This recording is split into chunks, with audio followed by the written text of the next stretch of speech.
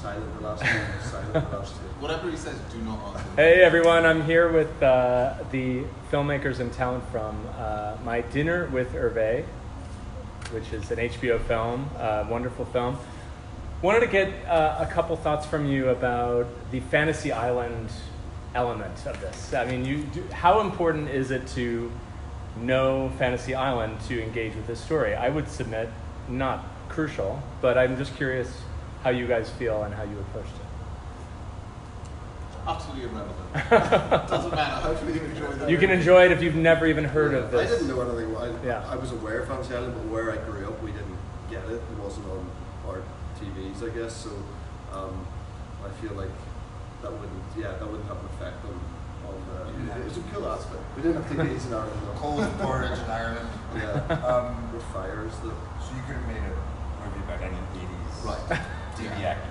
Yeah, exactly. Which, you know, was moving close. Conrad Baines. Knight Did you Rider. cycle through Yeah. several? Several. yeah. I mean, obviously, there's an origin story here. We could probably be on Facebook for hours detailing it. Um, so we can distill it down, though. I mean, because the gentleman here joined on along the way. You you've sort of seen it all the way through. But um, I guess maybe start with, with Peter, and then we can bring Jamie into it. How did you guys first connect? Um, Sacha came to see me in a play years ago and brought me a 25 page script called My Dinner with Hervé. Um, and it was incredible. But it was one of those things of, uh, it was 25 pages. What is the audience for short films before the internet, really? Um, and it was a, it looked like the most expensive short film ever made. Um, how you doing? Um, how you doing? Um, and so I sort of went, this is like one of the greatest things I've ever read. How the hell are you going to get this made? But I, I'm in. Right. I'm all in Right. if you actually are able to get this made. Right. Because I was a penniless young theater actor back then. um, oh, you, you, now I could have self-financed. I could have Yeah, you could, you could have made the whole I would have had a checkbook out. Unbelievable. Ah. Um, and then so actually serendipitously, it took many years and then actually it was a time in my life where actually I'm glad that the time had passed where I was age appropriate and um, Yeah. uh, enough to play the part. Yeah. And then and then Jamie, how uh, far along into this well, I journey? mean, what Pete's talking about is like 15 years ago. Um, Yeah. You were nine. You were not age appropriate. he was not age appropriate. He was appropriate. eating his porridge without television. I wasn't, uh, no, I wasn't ready. You couldn't have really, yeah.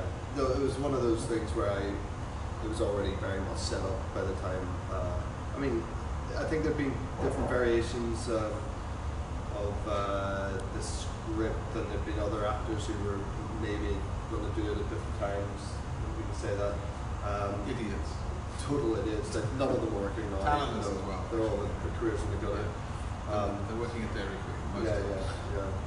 So um, I put in it a was, lot of time It with was, a lucky timing thing for me. I came like this guy was already on board. Big fan of Sacha's. Um, And my big fan of Sacha's. so um, it was all just yeah, it was easy.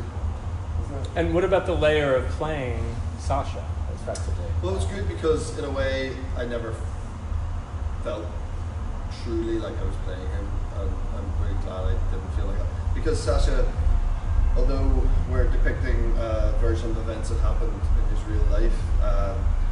my character was never called Sacha Gervasi. He was always called Danny Tate. Um, we decided that uh, he could be Irish in it, and uh, so we did a lot of things to sort of separate it from from you know being Sacha's story, which I think was healthy for so many reasons. You know, And it would, Um, it would have been impossible for me to, to, you know, direct it. So it had to be a case of Jamie taking possession of it and making it his own and doing it, you know, in his own way. Because otherwise, I think it would have been possible actually for both of us to sort of allow the story to come through.